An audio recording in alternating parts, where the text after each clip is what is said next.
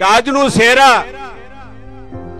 ઓગણીસો અઠ્ઠાણું પછીનું શેરા અને બે હજાર સત્તરનું શેરા. આપ સૌ જુઓ તો આપને બધાને ખ્યાલ આવશે. લાઇટની વ્યવસ્થા હોય તો સૌ પ્રથમ શેરા તાલુકામાં થાય. પીવાના પાણીની વ્યવસ્થા હોય તો સૌ પ્રથમ શેરા તાલુકામાં થાય. એકસો આઠની વ્યવસ્થા હોય તો શેરા તાલુકામાં થાય.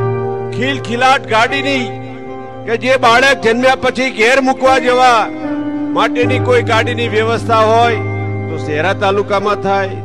સીએસસી નું મકાન બનાવવાની વ્યવસ્થા હોય, તો શેરા તાલુકામાં થાય. જીબી ના સાસઠ કેવી સબસેશન બનાવવાની વ્યવસ્થા હોય, તો શેરા તાલુકામાં થાય. આજે આપણે જોઈએ છીએ તો લગભગ શેરા તાલુકાની અંદર લાઇટના પ્રશ્નો મોટા ભાગના પૂરા થઈ જવા આવ્યા છે. કારણ કે મોરવા પાસે ગોકળપુરા ગામે છાસઠ કેવી સબસ્ટેશન બનાવ્યું?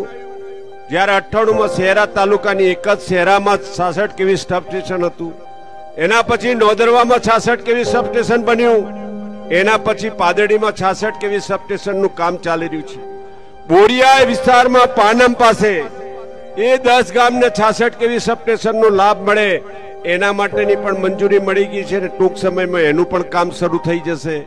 આ બધું ભારતીય જનતા પાર્ટીની સરકાર આવ્યા પછી થયું નરેન્દ્ર મોદીની સરકાર હતી એટલે થયું મિત્રો.